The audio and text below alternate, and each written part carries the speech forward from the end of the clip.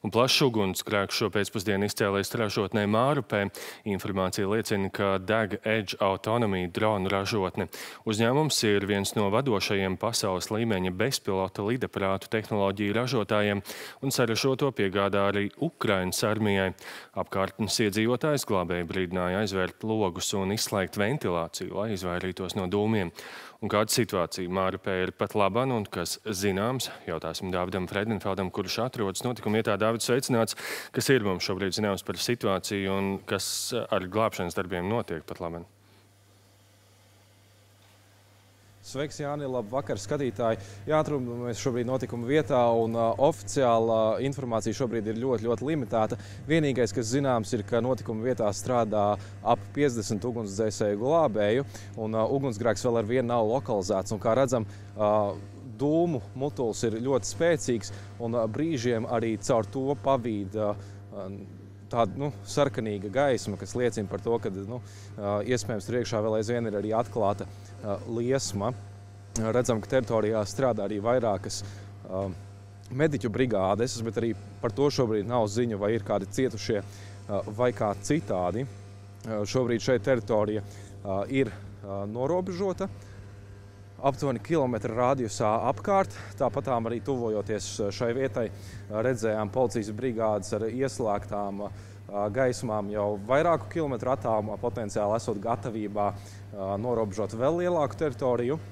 Nu, tas ir šobrīd tas arī, kas ir zināms. Valsts ugunsdzēsības un glābšanas dienests so, sola dot ziņu tik līdz būs zināms, ka kaut kas no darba vadītājiem, bet cik ugunsgrēks nav lokalizēts un ir atzīts par pastiprināti bīstamu, šobrīd tas nekas nav zināms.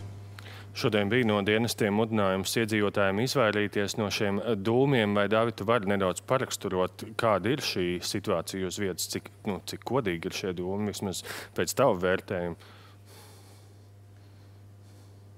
Jā, nu šobrīd, tur, kur esam mēs šajā pusē, nu, vējš tos vada vairāk kā uz lidostas pusi. Attiecīgi mēs viņus šobrīd pat, es teiktu, nejūtam, bet kamēr braucām šurp, tikmēr vēja virziens bija mazliet pamainījies un auto salonā dūmu, dūmu bija jūtami un viņi bija tādi, nu, radīja tādu kā kaklā sausumu sajūtu. Bet, nu, protams, nu, nešķita, protams, tas tika arī tik kritiski. Mēs bijām tajā brīdī aptuveni 3 km attālumā. Bet uh, es ticu, ka šīs mājas, uz kurām, jo tur tālāk ir mājas, un arī šajā ceļa pusē uzreiz ir mājas, es ticu, nu, ja viņiem tas dūmu mākslinieks pavēršās uz viņu pusi, tad tas ir ļoti nepatīkami. Bet nu, šobrīd tie dūmi vismaz vadās vairāk uz lidostas pusi, un tur uh, uz, uz šajā brīdī netiek tas lielākais dūmu mutuls tieši uz apdzīvotām uh, mājām.